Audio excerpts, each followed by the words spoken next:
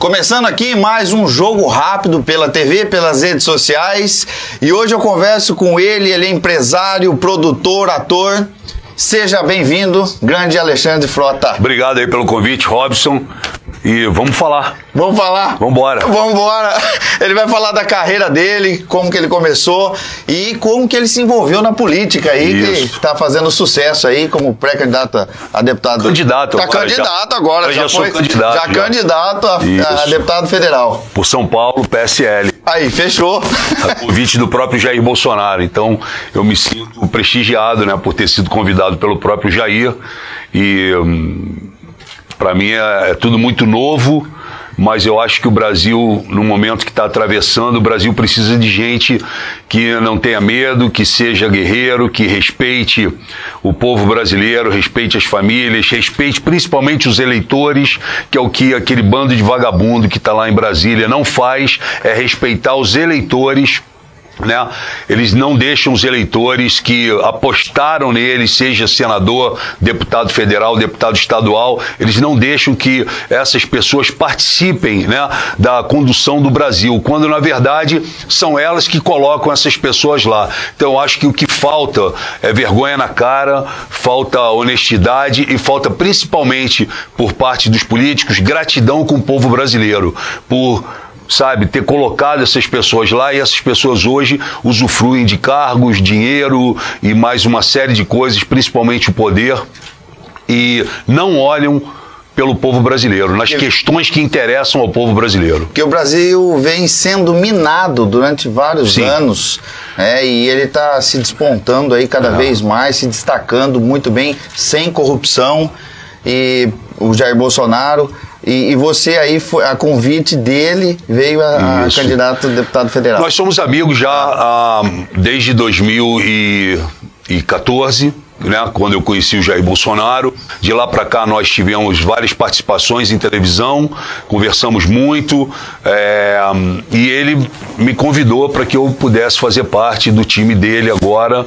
Né, para esse 2018 a gente poder lutar por um Brasil melhor, né? A gente sabe que, como você falou aí, é uma corrupção e é um- uma bandidagem que se alastrou pelo nosso país, não é de hoje, não será em quatro anos que nós vamos consertar tudo, né? Se assim nós chegarmos lá também, se assim o povo der essa oportunidade para gente. Mas é, a gente precisa entender o nosso papel dentro da sociedade e precisa lutar por isso. A gente tem que dar um, um basta, né? Chega, acabou, não dá mais para suportar esses políticos roubando, é, destruindo o- a nação, é, passando por cima das nossas leis, rasgando nossa Constituição, Isso. sabe? Ferindo o povo brasileiro com manobras e todos os dias a gente assiste isso na- nas emissoras de televisão, nos telejornais, enfim.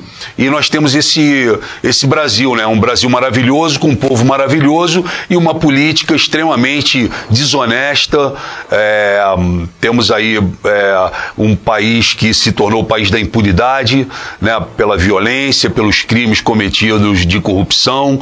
Então a gente precisa começar a dar um rumo a esse país. E para isso depende do povo brasileiro é, entender isso e varrer daquele Congresso esses políticos palhaços que não fazem nada pelo país, é, políticos que roubam o, o país, vão saqueando os cofres públicos, colocam dinheiro na cueca, saem com dinheiro na mala, né? Isso tudo a gente precisa entender obras que não, não terminam, obras Começa, superfaturadas, termina, é, realmente. sabe? É farra na cultura, farra em todos os lugares, tiram o dinheiro da saúde, tiram o dinheiro da educação, sucateando nossas polícias militares né, de todo o Brasil, é, não Há uma ligando. inversão de valores aí. É, não ligam para a segurança, deixam a nossa, a nossa fronteira extremamente aberta, né, jogada a- às traças. Então a gente precisa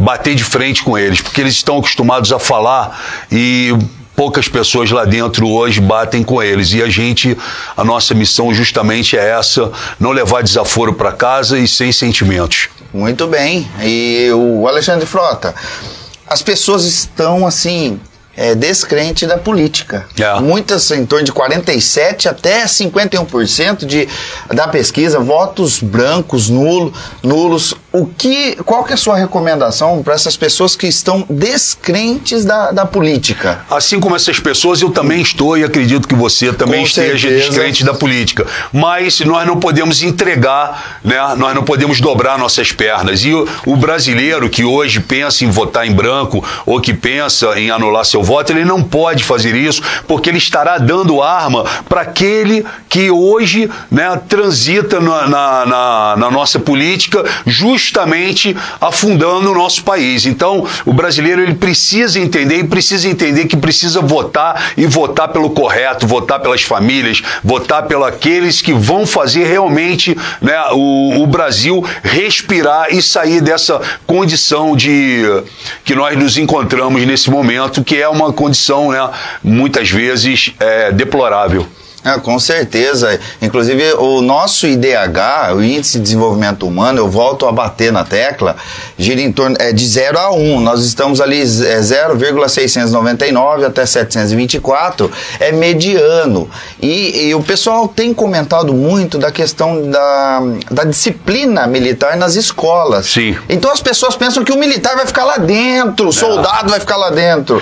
Eu acho assim, eu acho É. que o, o para quem conhece, eu estudei em colégio militar É. e para quem conhece sabe que o ensino é maravilhoso, é de altíssima qualidade e você sai de lá realmente é, sabendo os valores reais da vida. Para começar o assunto, Disciplina. Hoje nós temos aí escolas, faculdades que são verdadeiros antros né, de, do comunismo, são verdadeiros diretórios do PT e isso precisa acabar de alguma forma. É, Para a gente ser bem assim é, sucinto, o Luciano Huck outro dia estava falando que ele ficou impressionado quando na final daquele soletrando dele, os três finalistas eram os três, todos três eram de colégios militares. Militares. Então, o ensino, a qualidade, a disciplina, né? o amor à pátria, a ordem e o progresso, isso você aprende dentro do colégio militar. Então, assim, é, eu acho que deveriam haver mais colégios militares. Hoje existe filas de, de crianças aí que os pais estão esperando para poder conseguir uma vaga no colégio militar, colégio militar. para que né, é, seu filho não venha a sofrer uma série de coisas que hoje acontecem aí nas escolas e colégios e, e principalmente nas escolas públicas, né? Sim. Onde nós assistimos aí bullying, tráfico de drogas, é, professor batendo em aluno, aluno batendo em professor. E é, escolas sucateadas, falta de material, muitas escolas com ideologias de gênero, fazendo com que seu filho deixe de ser filho e se torne filha por vontade deles e não do seu filho e nem sua, né? Fica indefinido. essa doutrinação, banheiro unissex, é, é, essas ideologias que eles colocam dentro das escolas para que as crianças passem por uma situação que eu não acho correto, não acho certo, kit gay, e mas tudo, tudo que as pessoas colocam em função né, é, desse, desse momento que a gente vive na, na educação. É, principalmente a questão da violência na porta das escolas, os alunos, as alunas se brigando, se pegando, né? Outro dia eu vi um vídeo, foi muito interessante, que é os alunos deixando, não sei se você viu, um colégio militar é, em Manaus, me parece, e aí o- é, sexta-feira, 5 da tarde, forma todo mundo no pátio. E aí tem que pass- ficam os sargentos na porta do colégio. E aí o, sai. Quando o aluno sai, ele pergunta: é, 9 vezes 27. Se o aluno não responde, ele fala: volta para lá, vai estudar, você não vai sair agora. Aí vem o outro. Quem é, nessa data, quem fez isso, quem fez aquilo?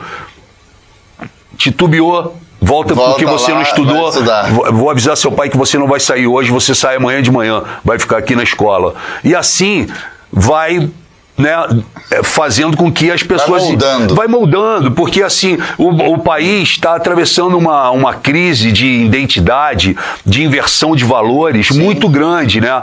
É, é, você vê aí esses comunistas, petistas, esses vagabundos, né, que que estão aí hoje, né, lutando por um Brasil que eu chamo de Brasil sem noção são os que pregam né, a, é, não é, a intolerância, vamos respeitar, vamos ser plurais, precisamos da diversidade, mas eles são os primeiros a serem preconceituosos, são os primeiros a justamente quebrar o que eles tentam pregar. Né? Então a gente precisa, nessa inversão de valores, a gente precisa ter atenção com isso para que realmente nossos filhos, nossas famílias, nossos netos não venham a sofrer.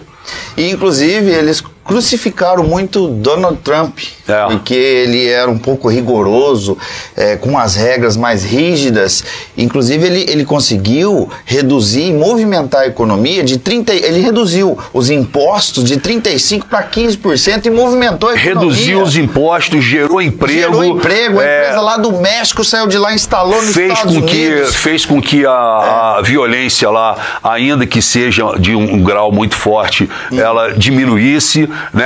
Ele é, assinou embaixo dando um respaldo jurídico, jurídico às polícias, né? As polícias especiais e as polícias, enfim, o que é preciso aqui no país também. O policial hoje ganha é, um salário horrível, horroroso, né? Para levar e, tiro aí. Para levar tiro, tem seus, seus equipamentos e suas, é, seus carros sucateados, sucateados, mas principalmente o policial hoje não pode agir mais porque ele não tem o respaldo jurídico jurídico. Né? Ele o, tem que atirar depois que ele leva o que tiro. Que ele morre. Que né? ele morre. E depois que ele morre é que ele tem que atirar. Então, Entendi. as coisas estão invertidas nesse país. Esse país ficou um país chato, um país onde tudo é racismo, tudo é apologia, tudo é assédio, não se pode fazer mais nada. Virou um país, esse país dessa esquerda nojenta, é, é, não é a cara do nosso Brasil e não é isso que nós queremos. As famílias não suportam mais esse tipo de coisa. Porque eles criticam o modelo americano, modelo... mas eles estão indo para lá. Eles criticam porque dá certo. Dá certo, é. Entendeu? E, e não, e não abaixa a cabeça para eles.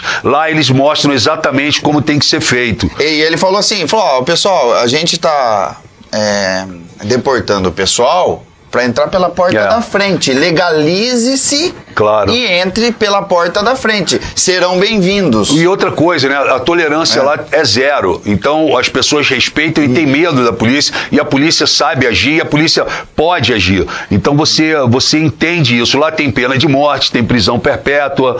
Sabe? Então. É rígido. É rígido a situação. E as e pessoas têm medo e disso. O, e o né? Brasil, ele precisa exatamente disso: de leis duras, de leis mais fortes, de leis que possam fazer com que essas pessoas que venham a pensar em cometer o crime, elas falem, pô, cara, eu vou ficar preso pro resto da minha vida, ou eu vou para um corredor da morte, seja o que for. Enfim, a gente precisa ter um Brasil é, firme, um Brasil honesto.